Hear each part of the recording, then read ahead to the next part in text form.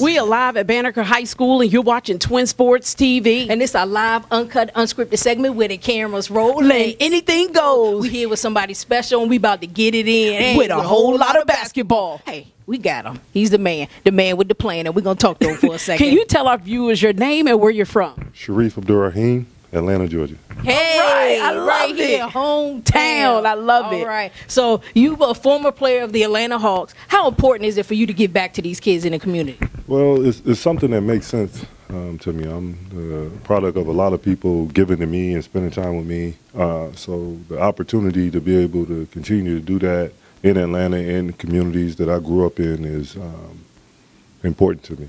Hey, all right. I love it. All right. All right. You have your foundation, the Future Foundation. What's the core mission of that foundation, and how does it impact the kids today? Our, our mission is to bridge the gap for young people um, and resources and, and, availability of options and opportunities that they may not have in, in their communities and their schools. Uh, so that's what we look to do. Um, this is our 17th year of working Oh, wow. with young people.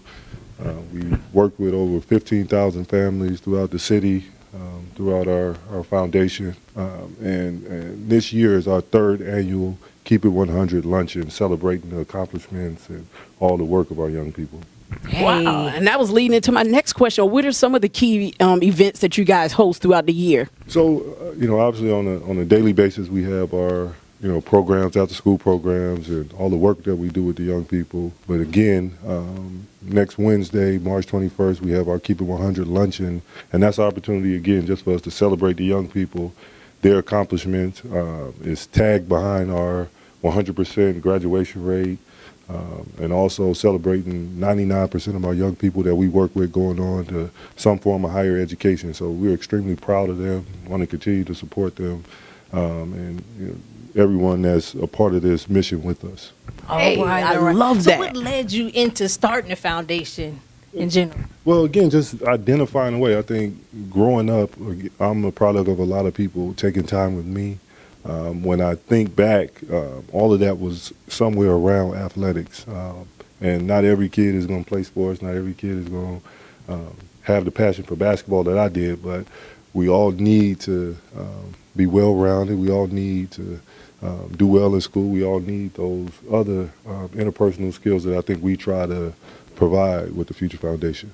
Right. All right. And I I have a question too. With all the distractions and temptations that young people have to go through these days, how important do you think youth sports are to communities? Well, very, very important. I, I think of myself, um, just the time that I had with coaches, with teammates, um, the commitment to wanting to be good. You know, I understood at an early age in order to do that, there was a lot of uh, distractions and things away from the field that I couldn't engage in. So um, it's a great way at a young age to keep young people occupied and keep them focused. Right about that. All I right. love it. So can you tell our viewers how long did you play in the NBA? What was that journey like getting Yeah. there? Well, the, the journey was a lot of work. Um, I don't know that you, at the time, you have a passion for something, you enjoy doing it, that you, you know, look at it as work, but, you know, it was a lot of enjoyment and just doing something that I love to do. I think the making is a dream come true, you know, so playing in the NBA, played for 12 seasons, um, three seasons here with the Hawks, got an opportunity to play in front of my family and friends. Um, so that was memorable. Uh, but overall, just great experience, great people that I uh, had the opportunity to, to meet and build relationships with, continue to work around the game, work with the NBA, um, has also been rewarding. So just continue to find ways to give back. Hey, I love love it. it. I love it. How tall are you? Right, You know, 'cause you're really we way up tall. We might got to get a ladder to finish this. I know. I hear you. Six foot nine. Six foot nine. Oh my gosh, that's tall. So, what advice can you give some of the young ballers who's trying to take their game to the next level? Well, nothing, nothing um, outlasts work. You know, if you want to be good at something, you have to work at it. You have to uh, be committed. You have to be organized, um, and you have to be authentic. You, know, you have to find your your way of doing. It's, it's great. We all have our favorite players that we want to emulate, but you also have to find your own um, space. All right. So, are there any kids in your program that are aspiring to be basketball players? Uh, I'm sure it's a it's a few, but we're more. Our focus has been, you know, math and science, Academic side. and, and reading. So we want to you know, let the coach the coach can coach them. We want to make sure we're um, giving them the support they need, you know, everywhere else. I love it. I love it. That is so important. We commend you. Uh, we respect you for doing that and giving back to the community. But our slogan on Twin Sports TV is, "Get your game up." Now, what do you do to stay on top of your game? Well, I think you know, in, in that, you know, your game evolves, right? So you got to keep whatever that game is. So if it's um, if it's in the classroom, it's on the court.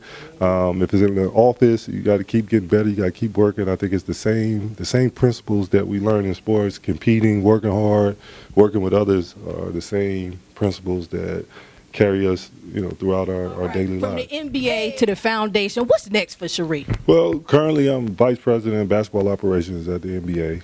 Uh, That's the league office. So you know, we're responsible for pretty much all of the things you see out on the floor: the rules, uh, compliance, um, all the um, technology on the court. That's that's our group that oversees that. Uh, so continue to, as you- as you say, get, getting your game up. Continue, Hey! Right. So continue to get your game up and um, evolve and work and you know find different ways to contribute. Right. Awesome, And because because I think the young people Yeah, need to see that same it's just thing. not all about balling on the court, Right. but there's other things, there's other avenues you can get in to still be a part of sports. Right. and I think it's wonderful. it is. It's exciting. So, can you look in the camera and tell everybody, say, "Get your game up." Get your game up. All right. Woo! that was the executive voice. Right. Get your game up. I Hey. love it. Twin Sports TV, get your game up.